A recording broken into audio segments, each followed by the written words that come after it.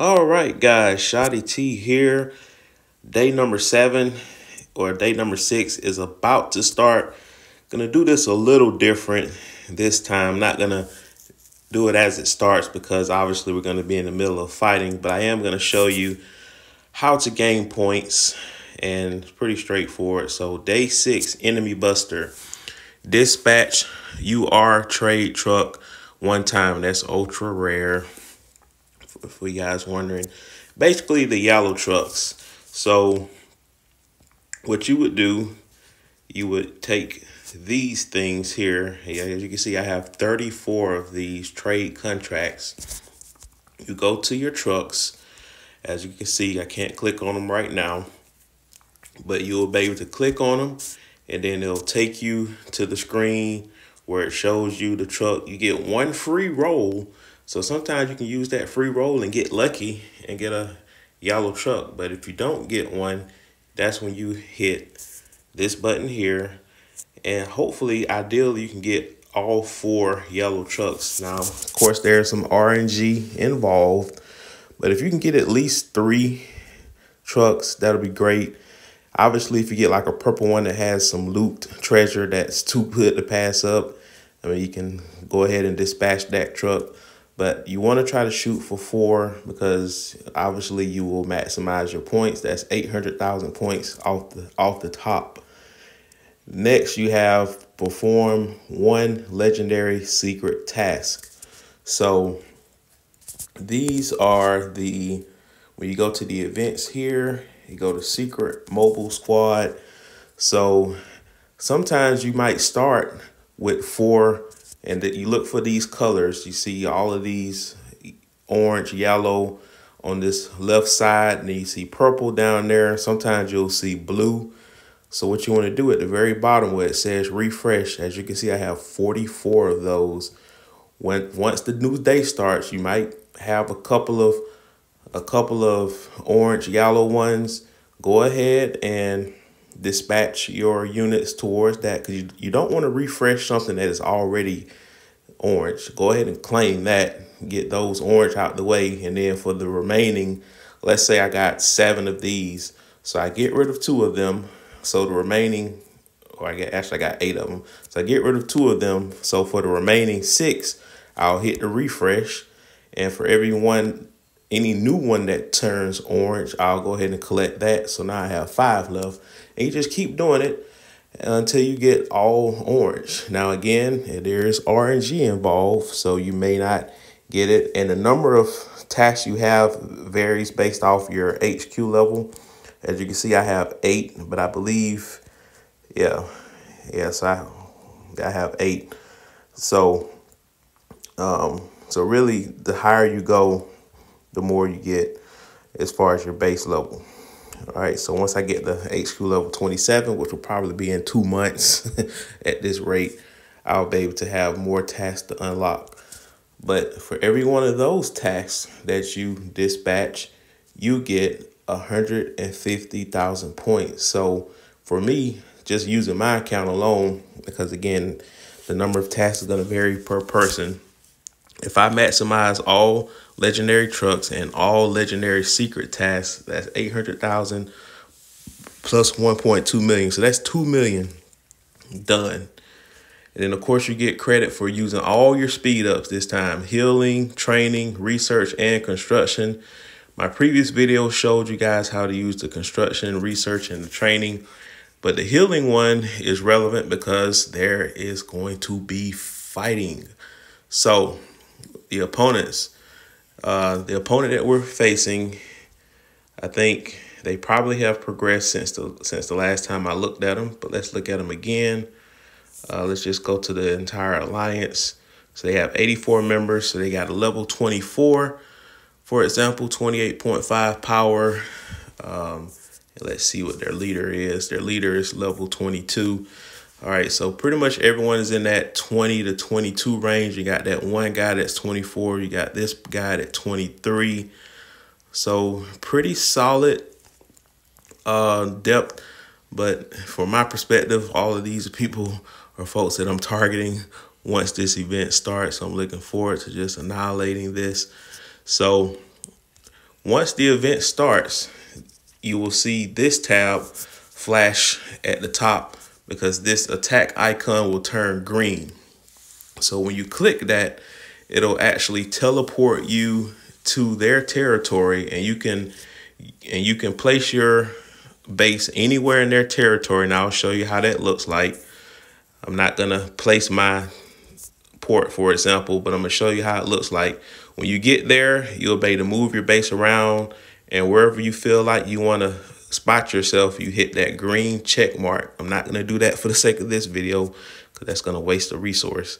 So I'm going to get out of that. So you'll be in the middle of their territory. You can fight as many of them as you want. Um, and you can scout them ahead of time just to make sure they don't have any troops at their base. Let's just use this guy for example. Because they have troops on their on their base when you attack them your guys are going to lose a little bit of health but not too much depending on how big of a difference your power level is versus theirs so i scouted this base it'll show up in your inbox scouted base so as you can see this person has two defense units so let's just use an attack example. Let me just attack this guy just one time. Just one time. All right. So we're going to attack him. It's going to take a minute and give you an advanced tactic to march to someone quicker. You aim towards a resource. It'll get your guys to march faster. And then when you get close to your target, you focus the attention on your target. So let's do that right here. We're close. And now we can turn our attention to the opponent. So that's a little tactic there. So as you can see, I attacked him. And let's let's see, I'm gonna pretend like I'm gonna attack again, but I'm not. So it depleted my units. I don't even know if it did at all. I, I don't remember what it looked like. But that's that's what you do. You just attack. But if you want to do multiple attacks, what you can do is dispatch multiple units at one time Actually, I need to bring both of my units back on base. Um, you do that. You just keep attacking until they're eviscerated. Um, usually it takes 10 attacks to disappear them off the map. And once that happens, they'll disappear to a random part of the map. And they will also be red. So your own alliance members is going to be green. Neutral is going to be white. But the enemy that you're facing the house will be red. So that way, when you zoom out, you'll know exactly where your opponent is located and you just go after them. So going back to when you're teleporting to their base, uh, the idea is you don't want to have your units up. And I showed this in the previous video. You want to take all of your members off of defense. And right now, they're all off of defense right now. If I wanted to put them back on, I would just hit that. But of course, we're not doing that. All right. So normally, if you don't have anyone on defense, if you don't have anyone on defense, this area right here where it says garrison units, it'll be completely blank. So that means you can attack someone and not worry about losing health. So you can uh, literally attack them multiple times in one go to attack more efficiently. And I may do a video to show you guys some attacks. I know a lot of this is difficult to explain without the actual action. All right, so you do that. You go to, you're in the opponent's territory. You fight, you fight, you fight. They gonna they're gonna fight back. They're gonna fight back. So you gotta hold your own.